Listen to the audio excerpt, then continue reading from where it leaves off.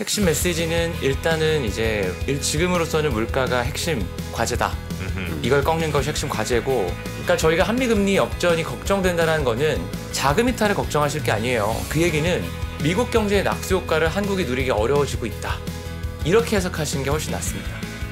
연준의 생각은 설령 침체로 빠지더라도 음. 장기 불황형은 아닐 것 같다라는 생각까지 하고 있는 것 같아요. 그렇게 해서 종합해 보면 네. 결론은 당분간은 연준 입장에서는 네. 물가가 분명하게 빠지기 전까지는 현재의 강경한 스탠스를 유지할 거다. 자, 그럼 오늘 어, 한국은행의 금리 인상 혹은 뭐 미국의 금리 인상 여기에서 우리가 아, 찾아야 될 뭐 저희 생존 방법들 한번 연구해 보도록 하죠. NH 투자증권의 강승원 책임 연구원님 모시겠습니다. 어서 오십시오. 네, 안녕하세요. 어서 오세요. 네, 반갑습니다. 예상했던 대로 올렸어요. 네. 예, 근데 이게 어쨌든 공식적으로는 신임 총재가 주재하는 첫 번째 네, 맞습니다. 그 금통이었죠. 네 네. 예. 어떻게 관전평을 일단 좀 들어보죠. 그러니까 일단은 아무래도 첫 번째 회의다 보니까 총재의 어떤 스타일, 어떤 그 가장 중요하게 생각하는 가치관 뭐 이런 것들이 되게 중요했는데 근데 이번에 본 가장 큰 특징은 되게 약간 연준, 그러니까 global standard에 수렴하고 있다라는 느낌을 좀 많이 받았어요. 예. 그러니까 음. 워낙 이제 IMF에서 오래 일하셨던 분이고 그렇죠. 워낙 이제 흔히 말하는 진짜 경제학자로서 엘리트 코스를 밟으신 아, 분이기 뭐 때문에 천, 천재 소리를 들었던 분이죠. 굉장히 진짜 아 이게 딱 연준 글로벌 중앙은행들의 어떤 전략을 정확하게 똑같이 차용하고 음. 계신다라는 느낌을 많이 받았고 안정감이 있네요. 핵심 메시지는 일단은 이제 일- 지금으로서는 물가가 핵심 과제다. 음흠. 이걸 꺾는 것이 핵심 과제고 연준이 이야기한 것과 똑같습니다. 그 일단은 중립 수준까지는 그러니까 완화 수준이 아니라 중립 수준까지는 빨리 가고 음. 가고 나서 추가적인 인상 여부는 그때 신중하게. 가서 보고 네. 확인하겠다라는 메시지를 분명했고요. 굉장히 조금 최근에 연준이나 ECB, BOE 같은 주요국 중앙은행들의 기자회견을 본 듯한 느낌이 좀 아니 근데 갑자기 사실 이제 뭐 이창용 한 총, 한- 하는 총재가 뭐 워낙 그 이 학계에서 인정을 받던 분이에요. 그 아시잖아요, 그죠? 그리고 이제 에, 금융위 부위원장도 하시면서 이제 군영 감각도 있다. 그 IMF에 또 IMF 굉장히 고위직이었잖아요. 네, 그쵸, 그쵸. 그래서 거기 있으면서 글로벌 감각이 있는데 그래서 굉장히 그 전보다는 그 애널리스트들이나 아, 또 기자들이 접근하는 방법도 굉장히 좀 달라진 듯한 느낌? 이런 게 좀 덜 권위적이고 그죠. 근데 어쨌든 50bp도 배제할 수 없다. 이런 그 기자들한테 얘기한 바가 며칠 전이었기 때문에 근데 그거는 일단 시장이 좀 안도감을 줬다고 봐야 되나요? 어떻습니까? 저 그러니까 일단 아예 그 기자회견 하실 때 음. 아, 커뮤니케이션이 생각보다 그리 이게 쉽지 않구나를 느꼈다 이런 얘기 소회를 얘기하시면서 네. 그러니까 흔히 말하는 모든 가능성을 배제하지 않을 뿐 이 정도 이야기였는데 네. 너무 그거에 대해서 조금 네. 그 경계가 있었던 부분에 대해서 오히려 막 좀 뭐 사과 같은 네. 이야기도 있어서 사실 빅스텝에 대해서는 말 그대로 그냥 좀 해프닝 정도였다고 보고요. 음. 곰곰이 생각해 보면 사실 미국이 빅스텝을 했던 가장 중요한 배경은 작년에 계속해서 물가는 일시적이다라고 이야기를 하면서 영란은행이 금리를 올리고 한국은행이 금리를 올리고 뭐 이럴 때도 계속해서 금리를 안 올리고 있다가 음. 조금 늦게 올리다 보니 빠르게 올려야 될 필요가 생겼고 빅스텝 인상을 했던 건데 네. 사실 한국 같은 경우에 작년부터 금리를 꾸준히 올려왔기 때문에 네. 사실 50bp 빅스텝 인상에 대해서는 분명히 조금 굳이 뭐 이런 분위기인 거죠. 음. 미국이 그러면 이렇게 올리면 미국이 우리보다 금리가 같아지거나 높아질 쯤이 언제쯤이에요? 그러니까 뭐 빠르면 이제 9월, 빠르면 9월이 될 거고요. 네. 근데 이제 다들 한국이 당연히 미국보다 금리가 높아야 되는 거 아니냐라는 질문들을 많이 주시는데 네. 생각해 보면 가장 비근한 사례로 2017, 2018 미국 금리 인상 사이클 때 이미 한국과 미국의 기준금리 역전이 최대 100bp까지 거의 벌어진 적이 있었거든요. 아 그래요? 근데 그때 생각해 보시면 미국과 중국의 무역 분쟁이 이슈였고 음. 한국 수출이 마이너스 간다가 이슈였지 한국과 미국의 금리 역전된다고 자금 이탈된다 이런 이야기 없었거든요. 아. 그러니까 사실은 금리 차로 인한 자금 이탈은 주식의 이슈는 아니에요. 주식 하시는 분들이 뭐 금리 보고 어 야 한국 금리가 미국보다 낮아? 그럼 주식에 대해서 매력을 이렇게 생각하시지 않잖아요. 보통 금리 차로 인한 자금 이탈 관련해서는 보통 이자율 시장의 채권 맹점인데 채권 시장이죠. 근데 생각해 보시 어 죄송합니다. 어. 근데 생각해 보시면 오히려 2017, 2018년도에 네. 한국과 미국이 금리 역전됐을 때 음. 오히려 외국인들 채권 투자가 엄청나게 들어왔어요. 음. 그래서 사실 개인적으로 한국과 미국의 금리 역전에 대해서 음, 우리가 이미 한 4, 5년 전에 겪어봤고 음, 그때도 전혀 문제가 없었기 때문에 그냥 항상 나오는 이야기긴 하지만 그렇게 큰 문제 없을 거다. 음. 오히려 그게 주는 메시지가 중요해요. 음. 왜 한국 금리가 미국보다 낮아질까? 너무 심플합니다. 한국 음. 경기가 미국 성장률. 경기 모멘텀보다 낮아서 그렇고요. 음. 음. 그 의미가 보시면 미국은 소비 국가고요. 한국은 수출 국가예요. 음. 근데 미국 경기보다 한국 경기가 안 좋다라는 이야기는 미국 경기의 낙수 효과를 한국이 못 누린다라는 의미고 음. 그것이 어떤 경로를 통해 오냐면 미국 소비 같은 경우에는 상품 소비와 서비스 소비가 있지 않겠습니까? 음, 음. 근데 최근에 보시면 특징 중에 하나가 3월부터인데 이번 주에 또 4월 데이터가 나올 텐데 네. 상품 소비는 점점 빠져요. 서비스 위주로 올라옵니다. 음. 근데 원래 미국 소비의 대부분은 서비스이기 때문에 미국 경제는 어 상품 소비가 하락하고 서비스가 올라와 미국 경제를 보시는 분들 입장에서는 오케이 좋아. 근데 이제 한국 같은 상품을 수출하는 국가 입장에서는 음. 미국 경제가 상품 소비에서 서비스 소비로 넘어가고 있다는 이야기는 음. 굉장히 안 좋은 이야기죠. 음. 그러니까 저희가 한미 금리 역전이 걱정된다는 거는 자금 이탈을 걱정하실 게 아니에요. 그 얘기는 미국 경제의 낙수 효과를 한국이 누리기 어려워지고 있다. 이렇게 해석하시는 게 훨씬 낫습니다. 음. 주 시장에 영향을 주죠 그러면. 그렇죠. 그러니까 이게 당장 오늘 또 데이터를 봐야겠지만 최근에 뭐 어제는 뭐 괜찮았지만 미국 뭐 소매 기업들 실적이 안 좋았다라거나 음. 미국의 흔히 말하는 이제 매스 컨슈머들 음. 지갑을 닫고 있다라는 이야기는 굉장히 심플하거든요. 더 이상 코로나 이후에 엄청난 보조금의 영향으로 상품 소비를 추세 훨씬 상회에서 누려왔는데 음. 연준의 공격적인 긴축으로 인해서 부의 효과가 없어지고 네. 그리고 최근에 미국 재정도 보시면 네. 바이든이 내놓은 예산안에 아무도 관심이 최근에 없으시지만 음. 지출을 늘리기보다는 지출 구조 조정에 훨씬 더 포커스가 맞춰져 있습니다. 이미 인플레이션을 겪고 나서 음. 미국에서도 워싱턴의 컨센서스도 우리가 돈을 너무 많이 써서 인플레가 나왔으니 네. 보조금에 대해서는 굉장히 조심스러운 스탠스가 나와요. 그러면은 음. 최근에 긴축으로 인한 가장 큰 타격은 어디서 나올 거냐? 당연히 추세를 훨씬 상회했던 상품 소비 쪽에서 타격이 제일 클 거다라고 보고요. 그렇죠. 네. 그러면 당연히 상품 수출하는 국가들 입장에서는 뭐 경기 관련돼서 불확실성이 높아지고 있다라고 보고 그게 지금 최근에 화두가 되고 있는 한미금리 역전이라는 음흠. 이슈로 나타날 뿐이지 네. 그 근저의 핵심은 미국의 경기 회복의 낙수 효과를 한국이 점점 못 누리는 국면으로 들어가고 있다. 이게 더 핵심인 것 같아요. 음. 네. 아니 근데 아까 그 말씀 거- 주신 것 중에 미국이랑 금리 역전되면 제가 들었던 거는 뭐 채권이든 뭐 뭐 주식시장이든 하여튼 미국 시- 미국 시장으로 다시 이제 자금을 빼서 갈 거다.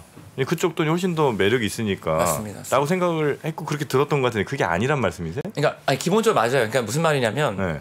저희가 어, 한미금리 역전되면 안 돼. 왜냐하면 엄청난 돈이 미국으로 빨려 갈 거거든. 이런 말씀들 많이 네, 네, 하시는데 네, 네, 네. 그러니까 주식이나 기타 자산들에서는 대부분 그게 맞고요. 근데 이제 흔히 말하는 예전에 저희가 IMF 때나 금융위기 때처럼 채권 시장에서 외국인들이 채권을 투매하는 일은 없을 거다라는 말씀을 드리는 겁니다. 무슨 얘기냐면 이게 조금 다른 게 한국 같은 경우에는 오히려 2017, 18년도에 외국인들이 네. 원화 채권을 엄청 샀어요. 그래서 음. 2016년도보다 지금 외국인들 원화 채권 잔액이 두 배 이상 늘었거든요. 네. 아마도 소장님 생각해 계실 때보다 거의 한 다섯 배 이상 늘었을 겁니다. 그러니까 왜 그럴까 보면은 그러니까 이런 거 말씀드리는 거 방금 말씀드렸지만 경제적으로 미국이 훨씬 더 매력적이기 때문에 모든 자산에서 미국 자산 우위인 건 맞아요. 근데 음. 그게 채권 시장에서도 그럴 거냐, 흔히 말하는 자금 이자율 시장에서 그럴 거냐, 그건 아닌 게 우리나라 채권을 투자하는 외국인들의 그 수급 주체가 완전 바뀌었습니다. 예를 들어 금융위기 때까지만 하더라도 지금 주식을 한국 주식을 투자하는 외국인들은 대부분 기관 투자자들이잖아요. 음. 근데 원화 채권 투자자들 대부분이 한국 채권은요. 외국계 국부 펀드나 음흠. 중앙은행들이 사요. 네. 음. 그러니까 그 얘기는 뭐냐면 뭐 주식은 외국 외국인들이 뭐 삼성전자 얼마에 사서 얼마에 팔자 숏도 하고 뭐 이럴 수 있는데 음. 원화 채권을 투자하는 분들은 중앙은행들이에요. 그러면 저희가 생각해 봐야 될 거는 야 중앙은행들이 해외 채권을 왜 살까? 공부 생각해 보시면 이게 핵심인 게 한국은행이 독일 채권, 미국 채권, 일본 채권 왜 사냐면 심플합니다. 외화 다변화를 위해 삽니다. 달러만 들고 있을 수 없으니까 엔화, 유로, 위안화를 사면서 그거를 금고에 갖고 있을 수 없으니까 그 나라 채권 사는 거거든요.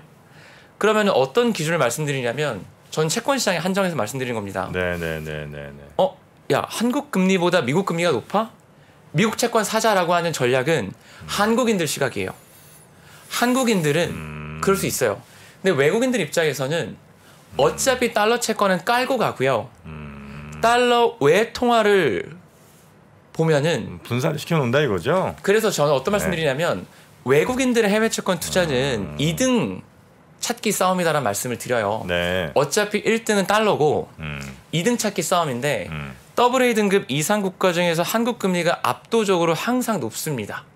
음. 미국 다음으로 항상 높은 나라가 항상 한국이었고 네. 그나마 조금 비슷한 애들이 가끔 싱가폴, 호주인데 달러 패그 사실상 국가들이잖아요. 그러면은 두 음. 대안이? 가지 그쵸? 음. 한국 채권은 안 사면 안 되는 채권이라서 설령 원화가 좀 떨어지더라도. 계속 사고 있다 이거죠? 맞습니다. 네. 이렇게 볼 수도 있죠. 그러니까 뭐 우리가 주식 투자하고 채권 투자하고 조금 개- 가장 큰 게 뭐냐면 채권 투자는 사실 원리금을 받느냐 안, 안, 못 받느냐가 가장 중요하거든요. 근데 음. 한국의 크레딧은 엄청 높죠. 맞습니다. 음. 몇번 세계에서 몇 번째로 높은 정부채거든요. 네, 네, 네. 근데 아까 말씀드린 것처럼 에, 미국을 제외한 나머지 국가보다 금리가 높, 높은 상태고 음. 미국이 한국 금리보다 높다라는 건 미국의 잠재 성장률이 성장률의 전망이 더 좋다는 얘기거든요. 네. 한국은 안 좋기 때문에 금리가 낮은 거란 말이에요. 음. 안 좋다라는 건 앞으로도 이 금리가 계속 낮아질 가능성이 있다라는 전망과 동일한 거거든요. 음. 금리가 낮아지면 그들, 그들은 먹는 거란 말이에요. 맞습니다. 예, 그러니까 채권 시장에서 이 한미 금리의 시- 실세 금리의 불균형 때문에 음. 확 빠지지 않는 구조적인 얘기를 이제 강성원 사실 저, 저런 분석은 사실 주식 쪽에서는 잘 못 해요. 채권 시장에 있기 때문에 저런 음. 네. 분석이 나오시는 그- 거예요. 그러니까 그냥 말씀드리고 싶은 건 뭐냐면 원화 그러니까 원- 한미 금리 역전이 되면 엄청난 소동이 벌어질 거다라는 생각은 안 하셔도 된다. 근데 이미 소, 아니 소동이 그 채권에서는 안 나는 거지만 맞습니다. 나머지는 날 거 아니에요. 그래서 말씀드린 게 아까 네. 한미 금리 역전되면은 자금 이탈 이런 식으로 해석하시는 게 아니라 네. 한미 금리 역전이 될 거라라는 것의 핵심 메시지는 한국 경기가 미국 경기보다 안 좋아진다. 이런 차원에서 해석하셔야 음. 그래야 조금 더 투자 전략 세우실 때 좋을 것 같아요. 왜냐하면 한미 금리 역전되면 대규모 자금 이탈이 있을 겁니다라고 얘기를 하면 네. 왠지 느낌상 엄청나게 금융 시장이 엄청난 뭐 샥이. 있을 것 같고 이렇게 생각하시겠지만 사실 금융 시장 샥은 아니고요. 네. 심플하게 한국 경기가 미국보다 안 좋구나. 한국 경제가 미국 경제 회복의 낙수 효과를 누리기 어렵구나. 음. 어, 한국 수출이 생각보다 안 좋을 건가 보다. 그러니까 한국 주식의 매력도가 떨어지고 네, 판다 맞습니다. 이런 얘기죠. 그러니까 샥이 아니라 그런 식으로 해석하시는 게 훨씬 더 도움이 되는 해석일 거라고 봅니다. 아니 근데 이제 일반 우리 개인 투자자들 입장에서는 차라리 금융시장이 뭔가 문제 생기는 게 낫지 주식시장이 망가질 거 아니에요 그러면. 그러니까 망가진다는 표현보다 어쨌든 말씀하신 대로 매력도가 떨어지는 거죠. 네. 그러니까 망가진다는 표현은 대부분 저희가 코로나 때 겪어봤던 대규모 현금 수요가 나타난다거나 음.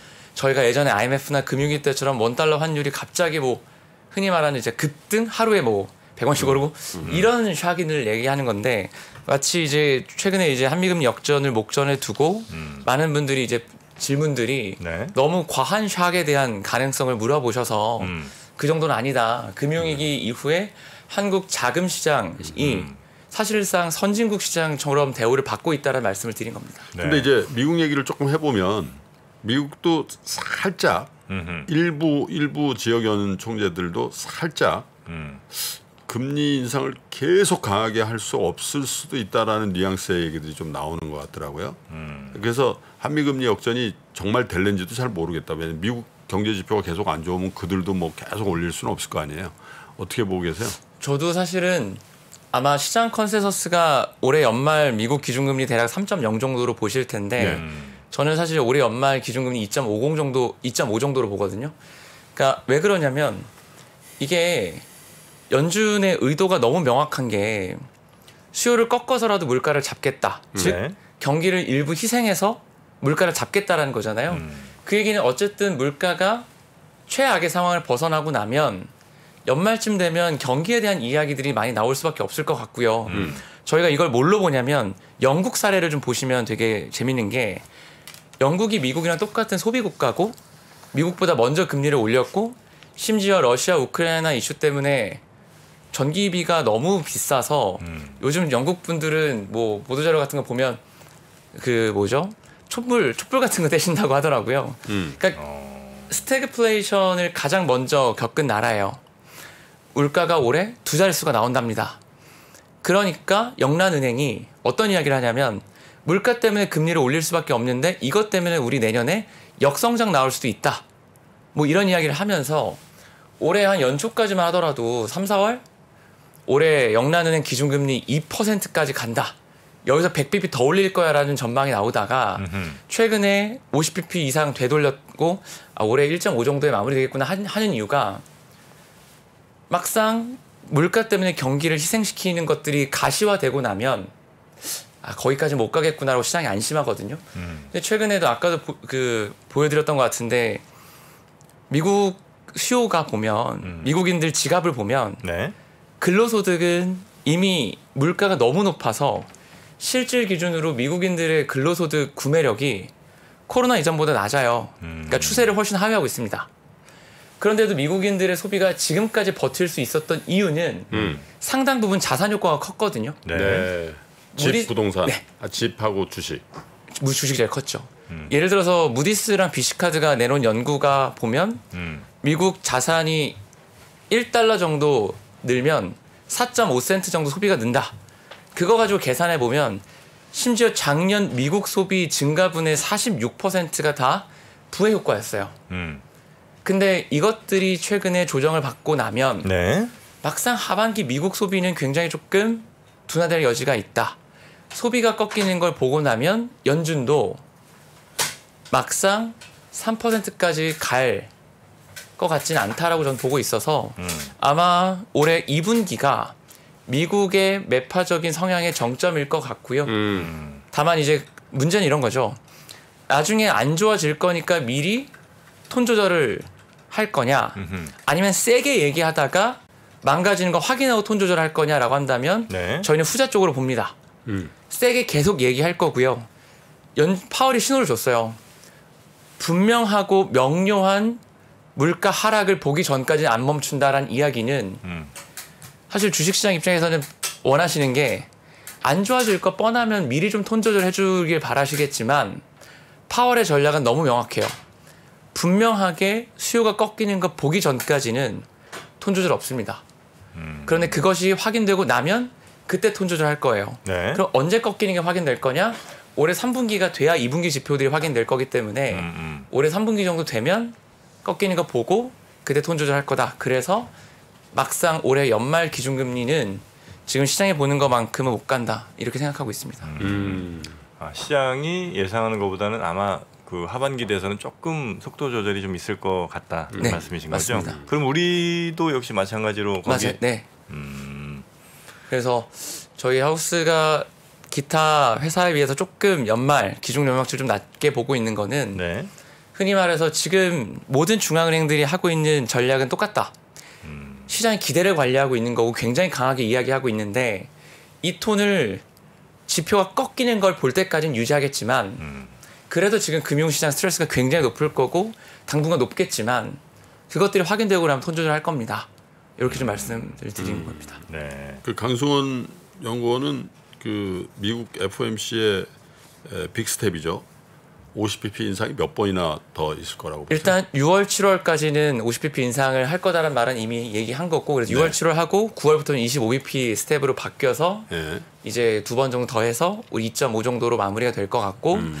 QT에 대해서 음. 파월이 QT 하면 연내 한두 큐티 양적 긴축하는 아, 겁니다. 맞습니다. 예. 양적 긴축이 연내 한두 차례 금리 인상 효과가 있다라고 이야기를 했거든요. 음. 그러면 사실은 2.5까지만 올려도 양적 긴축의 효과를 포함하면 사실상 올해 금리 인상이 뭐 2.5에서 끝나도 양적 긴축 포함하면 한 2.75에서 3.0 네. 정도 가는 효과가 있습니다. 그래서 사실 그 정도만 가도 충분하지 않겠나 이렇게 보고 있고요. 네. 이제 다만 다시 말씀드리지만 그런 톤 조절을 미리 해줄 거냐 지표 꺾이는 거 보고할 거냐라고 한다면 그 부분에 있어서는 후자일 거다 음. 이렇게 보고 있습니다. 지표가 꺾인다는 거는 인플레이션 지표를 말씀하시는 거죠? 그렇죠. 구체적으로. 인플레이션이 꺾이는 거 그리고 네. 인플레이션에 선제적으로 아마 소비 지표가 꺾이는 것들이 좀 분명해지고 나면 음. 그때는 톤 조절할 것 같은데요. 음. 그때 그걸 보기 전까지는 네. 조금은 강공을 좀 유지할 것 같다 이렇게 보고 있습니다. 구체적으로 월간 기준으로 저 CPI가 8%대 지금 치고 있잖아요. 네. 에, 어떻게 전망을 하세요? 저희는 연말까지 5%를 내려가기 좀 어렵다라고는 봐요. 근데 네. 다만 그래서 최근에 파월의 표현이 peak out이라는 표현이 아니라 음. 저희가 코로나 때 한번 들었던 얘기인데 flattening out이라는 표현을 쓰거든요. 음. 그러니까 더 올라가지 않는 수준이 되는 게 일단 좀 보여야 될 것 같고요. 그것들이 한두 달이 아니라 그때도 얘기했던 게 한두 달 지표 갖고 보지 않겠다라는 이야기는 네. 최소 분기 기준으로 고점이 더 이상 안 높아지는 것들이 확인되는 거. 음. 그러니까 그렇게 물가 기준으로 봐도 지표 기준으로 봐도 음. 일단은 파월의 톤이 좀 내려가려면 일단 3분기 정도까지는 가야 될 것 같다 이렇게 좀 생각하고 있습니다. 그 톤이 그 이야기 그 시나리오대로 이제 가면 경기는 어떻게 됩니까? 경기는. 그러니까 어떤 생각이냐면 네. 최근에 뭐 경기 침체 얘기가 워낙 많은데 네, 네, 네. 모두가 예측하고 있는 경기 침체는 전 안 온다고 봐요.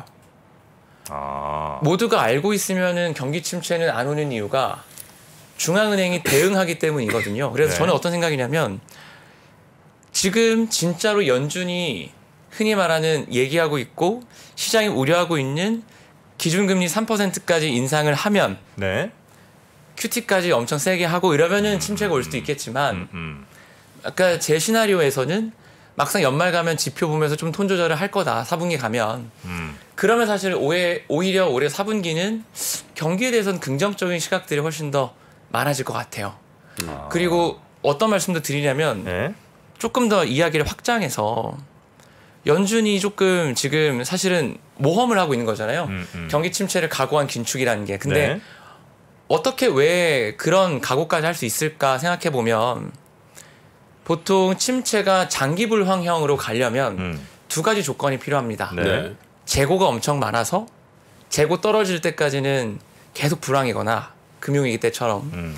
예전에 이제 미국의 그러니까 일본에서 리차드 쿠가 얘기했던 대차대조표 불황 상태거나 네. 한때 근데 지금 미국은 재고 판매 비율이 역사상 저점이고요. 음. 미국 가게나 기업의 재무제표가 굉장히 건전해요. 네. 그럼 사실 연준 입장에서는 그러니까 2주 전에 파월이 얘기했던 게 되게 의미 있던 게 나중에 실수로 판명되더라도 지금 물가 잡겠다는 이야기는 음. 파월도 정책 실패 가능성을 인지를 하고 있다. 네. 그럼에도 불구하고 물가 때문에 우리는 당분간은 어쩔 수 없어. 이런 이야기를 한 건데 음. 아니 어떻게 감히 연준이 저런 이야기를 하지? 그런데 막상 보면 연준의 생각은 설령 침체로 빠지더라도 음. 장기 불황형은 아닐 것 같다라는 생각까지 하고 있는 것 같아요. 그래서 뭐 아 심체 가더라도 짧게 끝난다. 네. 그렇게 해서 종합해 보면 네. 결론은 당분간은 연준 입장에서는 네. 물가가 분명하게 빠지기 전까지는 현재의 강경한 스탠스를 유지할 거다. 음. 이게 톤 조절이 되려면 예전처럼 야 앞으로 안 좋아질 거니까 미리 톤 조절하겠지 이런 생각하기보다는 실제 지표가 분명하게 빠지는 게 보이고 나서 톤 조절 이런 식으로 세- 스텝을 생각하고 있습니다. 자. 그렇군요. 네. 지금 어 전망들이 이제 혹은 뭐 지금 현재 상황에 대한 판단들도 굉장히 많이 달라지고 있, 맞습니다. 있잖아요. 어 아무래도 이제 우리 시청자분들 보시기 조금 이제 어려운 얘기일 수도 있을 것 같기도 한데 음, 전체적으로 보면 우리 어, 연구원이 보실 때 우리나라도 그러니까 한 2분기까지는 조금 어려운 겪다가 그 뒤로는 조금 그래도 괜찮아지는 상황이 올 거라고 보세요? 아니면 한 한 1, 2년 정도는 조금 침체를 우리도 좀 어, 갖고 1, 2년까지는 아닌데 아마도 이제 미국 지표가 꺾이면 수출이 안 좋아질 거기 때문에 네. 아마도 아까 말씀드렸죠 그냥 결국은 올해 3분기까지는 경기에 대한 부정적인 이야기들이 좀 계속 나올 것 같아요. 어쨌든 이번에 처음으로 한국은행에서 수출에 대한 부정적인 조금 평가가 있었고 이게 분명하게 올해 하반기에 수출 증가율이 한 자릿대로 떨어지면 좀 불편할 수도 있을 것 같은데 막상 올해 4분기 때 연준의 톤이 조금 꺾이고 나면 올해 연말쯤 내년을 볼 때는 조금은 긍정적인 시각들이 좀 많이 나올 것 같다. 다만 아, 내년 정도는. 네, 근데 이제 그것을 먼저 선반영하거나 음. 어차피 안 좋아질 게 뻔하니까 미리 중앙은행들이 조금 톤 조절해주기를 기대하기는 쉽지 않다. 있습니다. 아니, 그거는 팩트입니까? 우리나라가 전 세계에서 어, 돈 가치가 제일 많이 떨어진 나라예요? 아, 그러니까 제일 최- 많이는 아니고요. 최근에 당연히. 뭐 주요국들 가운데 예를 들면 뭐 EU나 뭐, 뭐 일본이나 쭉 있을 거 아니에요. 근데 그런 나라들 비교해서는 어, 특히나 우리는 금리 올린 것까지 계산하면 제일 많이 떨어진 거라고 하시는 분들도 계시던데. 뭐 왜냐면 이제 EU나 뭐 영국 이런 데는 금리를 안 올렸으니까 이제 떨어진 게 상대적으로 있을 거 아니에요. 근데 뭐 금리 인상 효과를 어떻게 추정하셨는지는 잘 모르겠지만 음. 일단 숫자로 보면 당연히 엔화가 훨씬 많이 아, 가치가 엔화가? 절하가 됐죠. 왜냐하면 역사상 라인을 다 깨고 내려갔었기 때문에 그래서 음. 엔화가 훨씬 더 안 좋았고요. 그래서 이제 네, 다음- 엔화보단 좀 낮고 네, 하지만 네. 많이 떨어진 건 사실이고. 네 맞습니다. 그래서 네.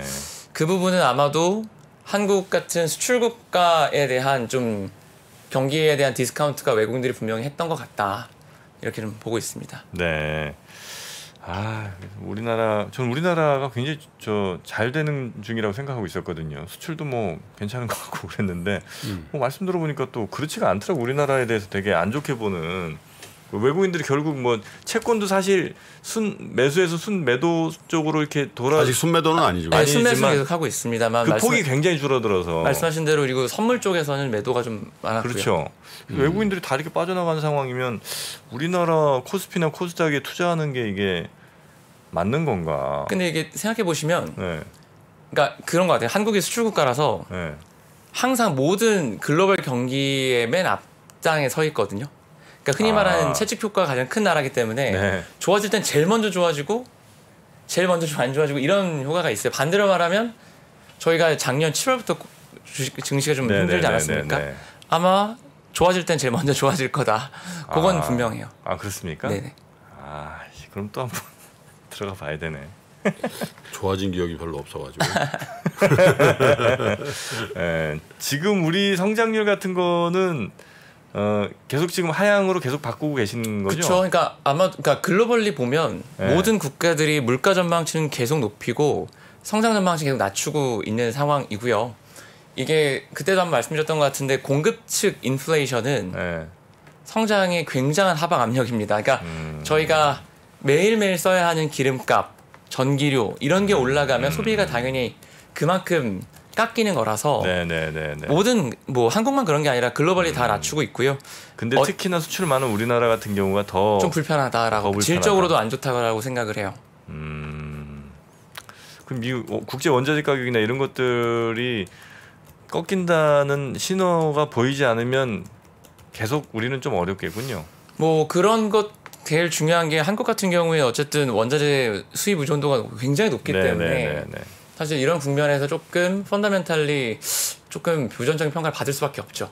애초에 음. 원자재를 그러니까 반도체 팔아서 원자재 사는 국가 가 이게 수출을 보면 그렇거든요. 음. 근데 최근에 반도체 가격이 아직은 조금 아쉬운데 음. 원재 가격이 너무 급등했다. 음. 어, 한국의 무역 수지가 적자가 뭐 이거 뭐 항상 이어지지 않겠죠 나네. 네. 그러면은 과거보다는 조금은 경기에 대한 질적 평가가 음. 조금은 과거보다는 부정적일 수밖에 없는 부분은 분명히 있습니다. 그리고 그런 것들이 이미 환율 가격에 녹았다고 보고요. 아, 망하는 건 아니겠죠, 그죠? 아, 절대 그렇지는 않습니다. 한국이? 절대 그렇지 아, 않습니다. 너무 걱정하시는 분들이 많아갖고 저도 알겠습니다. 하여튼 뭐 우리나라도 금리를 이제 어, 우리나라 참몇번 예고된 게 있나요? 우리 금리 아, 올해? 뭐 당연한 이야기지만 예고를 하고 하시진 않지만 네, 네. 신호를 주셔서 네. 당장 7월 달에도 금통위가 예정되어 있고요. 근데 음. 7월 인상은 거의 이제 기정사실화. 7월 인상은 7월까지는 연속으로 인상한다. 왜냐면 두 번 인상한 건가요? 아, 올해로 보면은 이제 이, 그러니까 7월에 인상을 하면 총 네번 네 하게 번. 됩니다. 네. 그렇게 하고 이제 그 이후로는 이제 좀 더 보고 네. 일단 네. 거기까지 가고 보겠다 말씀을 하신 겁니다. 알겠습니다. 자, 우리 어, 강승원 책임 연구원과 함께 아, 뭐 금리 이야기 또 전체적인 경기 이야기 정프로의. 나라 걱정이 굉장하고만. 아, 저 요즘 나라 걱정 진짜 많이 해요. 왜냐면 그게 결국 제 전재산이기 때문에 음. 아, 주식시장 망하면 큰일 납니다. 근데 요즘 자꾸 망할 것 같이 얘기하시는 분들이 많아서 지금 큰일이에요 지금 제가. 그러니까 경기가 그냥 조금 속도가 음. 느려지고 있는 거는 분명하고 그거를 지금 자산시장이 반영하고 있는 거지 음. 망한다라는 건 진짜 말 그대로 탈선한다는 이야기인데 더블A 등급 국가가 탈선하는 게 진짜 어려운 아니, 일입니다. 그러니까 물론 뭐 물론 뭐 이게 끝나지는 않겠지만 네네네. 예를 들어 한 주가 지수 한 1,800 간다. 음. 이러면 제 입장에서 망하는 거잖아요. 아 그렇죠 그렇죠 그렇죠. 예, 그러니까 그렇게 혹시 나라는 정프로를 더 걱정해. 아 나라가 저를 걱정해. 그럼. 알겠습니다. 저도 잘 버텨내겠습니다. 하여튼 뭐 그 정도의 샥은 오지 않는다는 네. 거죠. 네, 알겠습니다. 자, 우리 강승원 책임연구원과 함께 이야기 나눠봤고요. 아, 또 걱정이 많이 커질 무렵에 또 모시도록 하겠습니다. 대단히. 고맙습니다. 네, 감사합니다. 아, 이분이 오면 시장 얘기 듣고 싶어서. 또 어. 신부함께서 요즘에 top 3 안에 인기를 또 누리고 계십니다. 변동성 자산이기 때문에 이런 위기가 왔을 때 너무나 큰 기회가 옵니다. 아니 1500에서도 주식을 안 샀는데 1800, 1700에서 사시겠습니까? 저는 그거는 그닥 도움이 안 되는 조언이라고 봅니다. Fed가 첫 금리를 인상을 할 때는 투자 규모를 더 늘려야 될 때입니다. 페드는 이제는 금리를 올려도 경제가 버틸 수 있다라고 판단을 했다라고 봅니다.